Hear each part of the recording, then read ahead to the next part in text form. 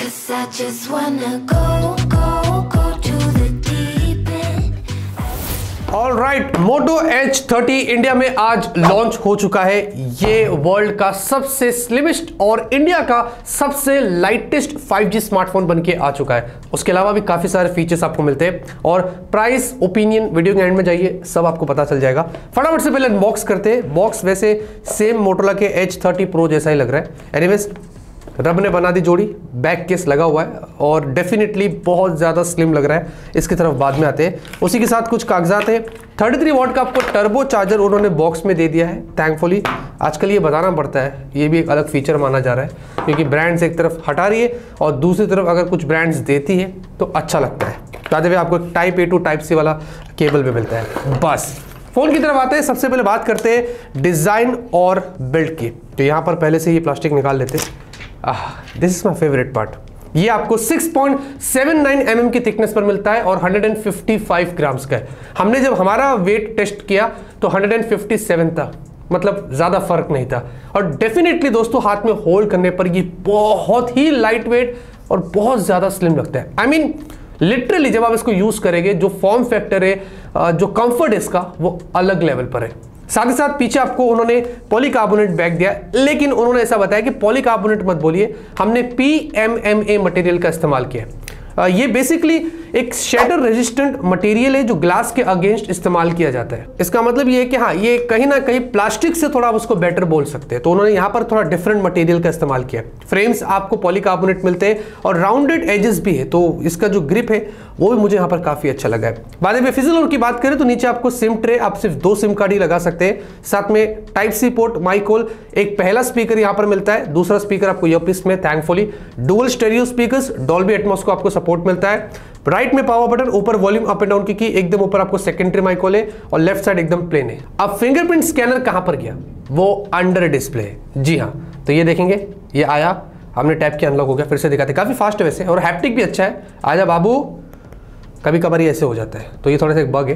बाकी फास्ट है हैप्टिक्स भी अच्छा है। जब आप मल्टीटास्किंग करते हैं टाइपिंग वगैरह करते हैं तो वो एक्सपीरियंस भी आपको अच्छा मिलेगा। हाँ एक और चीज़ आपको बताना भूल गया कि आपको दो कलर्स में मिलेगा। ये वाला मेरे पास ग्रे है, ये वाला ग्रीन है और हाँ फिफ्टी आपको रेटिंग्स भी देखने को मिलती है। डिस्प्ले की तरफ़ आते हैं। 6.5 इंच की। यहाँ पर उन्होंने इस बार डिस्प्ले में स्लाइट कॉम्पैक्टनेस दिया है। अक्सर 6.6 होता है 6.7 6.73 6.8 होता है।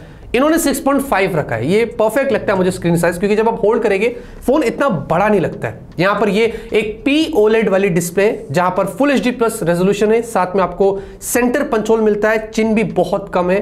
स्क्रीन टू बॉडी रेशियो आपको काफ़ी अच्छा देखने को मिलेगा। साथ ही साथ यहाँ पर ये 10 बिट वाली display DCI P3 HDR 10 plus वगैरह आपको मिलता है। और गोरिल्ला ग्लास 3 की भी उन्होंने प्रोटेक्शन दिया है। डीसी डिमिंग भी दिया है। Low brightness screen flickering issue आपको यहाँ पर नहीं मिलेगा। हमने सब टेस्ट किया।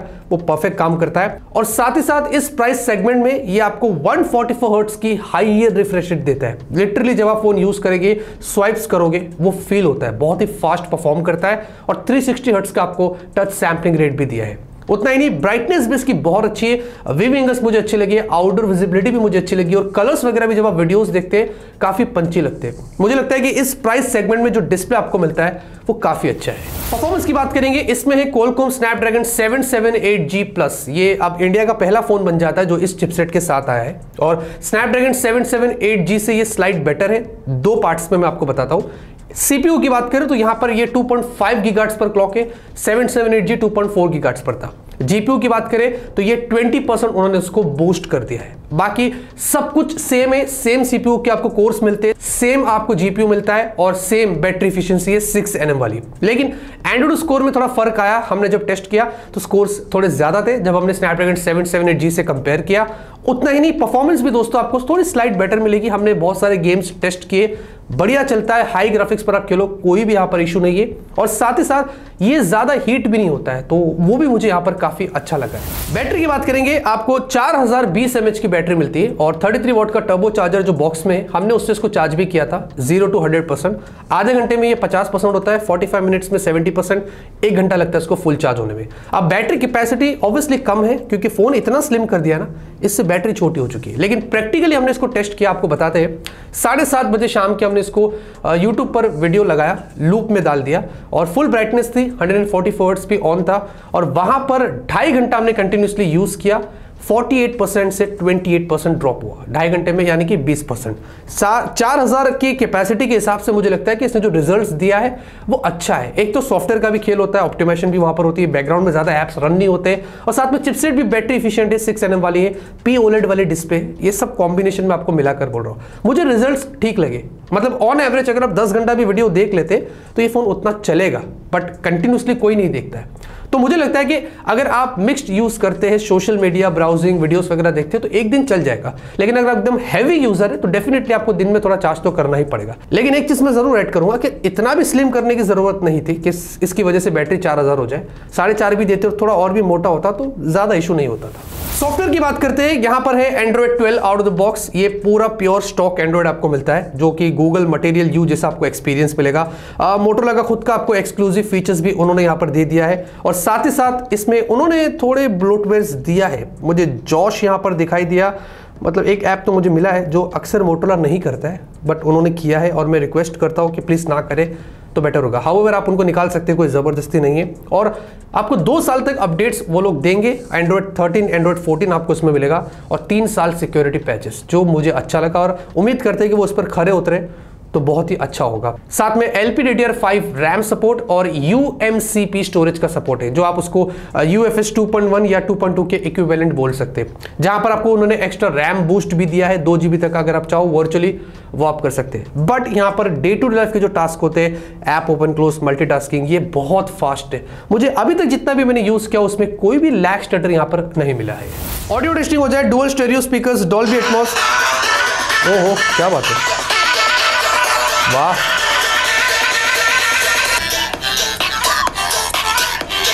वेरी इंप्रेसिव बहुत ही लाउड है। Unfortunately 3.5 point five M jack नहीं इतना स्लिम कर दिया तो वो भी गायब हो गया।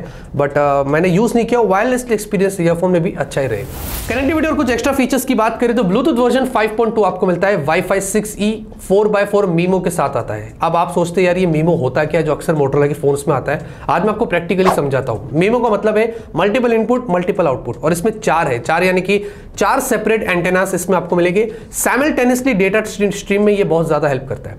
हमने प्रैक्टिकली टेस्ट के लिए एक जगह पर मिड रेंज, एक जगह पर फ्लैगशिप लगाया, बीच में मोटोला था। सेम वाईफाई पर तीनों थे और सेम गेम एक टाइम पर हमने स्टार्ट किया डाउनलोड पर। और आप देखोगे लिटरली मोटोला ज़्यादा फास्ट डाउनलोड करता है। इसलिए जो चार एंटेनास है, वो उसमें हेल्प करता है। ये सिर्फ़ वाईफाई में नहीं, ये फोर पर भी काम करता है। इसमें थ्री एसी कैरियर एग्रीग्रेशन उन्होंने दिया है। बट हमने जब चेक किया तो हमें फोर प्लस कैरियर एग्रीग्रेशन नहीं दिखाई दिया। हो सकता है मेरा वोडाफोन तो इशू हो रहा है। क्या पता है एयरटेल और जियो में आपको शो करते। हैं और साथ ही साथ आपको तेरह 5G की बैंड्स भी दिया है तो वो भी चीज़ आपको अच्छी मिल जाती है।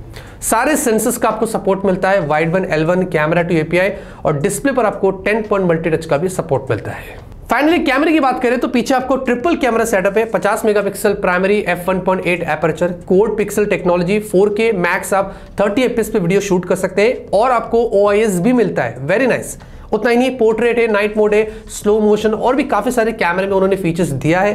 फिर एक 50 मेगापिक्सल का अल्ट्रा वाइड और ये फ़र्स्ट एवर ऐसा सेंसर है जिसमें मैक्रो भी है। मतलब 50 मेगापिक्सल मैक्रो तो 50 मेगापिक्सल अल्ट्रा वाइड उसी में मैक्रो है तो 50 मेगापिक्सल के आप मैक्रो भी ले सकते हैं। वैसे हमने थोड़े फ़ोटोज़ लिया था। अल्ट्रावेट फ़ोटोज़ काफ़ी अच्छे हैं। डायनामिक रेंज वगैरह देखो कलर शिफ्टिंग भी ज़्यादा नहीं, सब बढ़िया लगा। और 50 मेगापिक्सल का मैक्रो भी हमने ले लिया। तो मैं इतना बड़ा फ़ैन नहीं हूँ, लेकिन अगर आप चाहो तो आप ले सकते हैं। बाद में दो मेगापिक्सल का उन्होंने आपको डेप्थ भी दे दिया है जिसकी ज़रूरत नहीं थी। सामने 32 मेगापिक्सल सेल्फी यहाँ पर भी कोई कंजूसी नहीं है। मैक्स फोर की वीडियो आप यहाँ पर भी शूट कर सकते हैं। 30 एफपीएस ईआईएस वगैरह मिलता है। आप फ़ोटोज़ देखेंगे मैं खुश हूँ क्योंकि उन्होंने यहाँ पर कुछ काम किया है। मैं वही एक्सपेक्ट कर रहा था क्योंकि एक मिड रेंज फ़ोन है तो फ़ोटोज़ अच्छे होने चाहिए। तो यहाँ पर डायनामिक रेंज देखेंगे कलर्स देखेंगे बुके शॉट्स देखेंगे शार्पनेस देखेंगे, सब अच्छी लगी मुझे। और सेल्फी देखते तो सेल्फी भी अच्छी है। सेल्फी में भी कुछ कुछ जगहों पर मुझे डायनामिक रेंज यहाँ पर काफ़ी अच्छा लगा है। वीडियो देखते तो वीडियो भी अच्छा है काफ़ी बढ़िया स्टेबलेशन आपको मिलती तो ओवाईएस बराबर काम में लिया गया है और डायनामिक रेंज गौर करते तो बढ़िया है। और सेल्फी वीडियो भी देखते तो ये भी अच्छी है स्टेबलाइजेशन भी अच्छी है डायनामिक रेंज भी अच्छा है और मुझे शार्पनेस भी वीडियो के दौरान यहाँ पर काफ़ी अच्छी लगी है। नाइट में भी कुछ जगहों पर काम किया गया अक्सर मैं मोटरला के फ़ोन में नाइट में कंप्लेंट करता हूँ। बट यहाँ पर नहीं करूँगा ज़बरदस्ती। फ़ोटोज़ अच्छे लगे शार्प है नॉइस इतनी ज़्यादा नहीं है और साथ में सेल्फी देखते तो नाइट में ये भी मुझे अच्छी लगी सेल्फी का क्या सीन है कि कुछ कुछ सिनेरियो में अच्छी आती है कुछ कुछ सिनेरियो में थोड़ी डल होती है। ओवरऑल मैंने गूगल ड्राइव की लिंक डिस्क्रिप्शन में दिया हूँ, आप कुछ जाके चेक करिए और कमेंट में बताइए कि इसकी फ़ोटोज़ और वीडियोज़ आपको कैसे लगे। अब प्राइस की बात करेंगे तो ये 28,000 का है six GB RAM one twenty GB storage और 30,000 का है eight GB RAM one GB storage bank offers दे रहे हैं वो लोग। दो हज़ार रुपए दोनों वेरिएंट्स पर आपको ऑफ़ मिलेंगे। तो फॉर एग्जांपल जो बेस वेरिएंट है वो 26,000 तक जा सकता है। आई मीन पच्चीस से तीस हज़ार की रेंज पर ही मैं एक्सपेक्ट कर रहा था और प्राइस वैसे ही लगी। क्योंकि चिपसेट आपको अच्छी मिल जाती है। डिस्प्ले प्राइस सेगमेंट में बहुत अच्छा है। कैमरे में इंप्रूवमेंट्स हुआ है। दो साल सॉफ्टवेयर अपडेट्स मिलेंगे। वैसे भी स्टॉक एंड्रॉइड है वहाँ पर भी एक्सपीरियंस आपको अच्छा मिलेगा। और फॉर्म वेक्टर काफ़ी अच्छा है। बैटरी भी इट कुड बीन बेटर लेकिन जैसे कि मैंने कहा प्रैक्टिकली सबसे इंपॉर्टेंट होता है कैपेसिटी पे इतना हमें डिपेंड नहीं होना चाहिए। क्योंकि अगर एप्पल के फोन्स उठा लो, उनमें कैपेसिटी कम होती है, लेकिन ऑप्टिमाइजेशन देखो कितना अच्छा होता है। कुछ कुछ एंड्रॉइड फोन्स को भी पीछे छोड़ देता है। तो यहाँ पर ऑप्टिमाइजेशन पर और प्रैक्टिकली में सोचना चाहिए। तो मुझे अच्छा लगा है, जितना भी मैंने अपने टेस्ट किया। बाकी ओवरऑल मुझे लगता है कि एक अच्छा पैकेज है मोटोला की तरफ़ से, और वो अच्छा काम करती है। हर कैटेगरी में आप देखो तो डेफिनेटली ये भी मुझे लगता है मैं आपको रेकमेंड कर सकता हूँ। तो डिस्क्रिप्शन में इसकी सारी इन्फॉर्मेशन दी आप जाके चेकआउट करिए। इनकेस अगर आपको कंपेरिजन चाहिए और रिव्यू चाहिए रिव्यू तो मैं करने वाला हूँ। बाकी आपको और भी कुछ करना है, चाहिए, मुझे कमेंट में ज़रूर बताइए। लाइक करिए दोस्तों सब्सक्राइब करिए, तब तक के लिए ऑलवेज कीप स्माइलिंग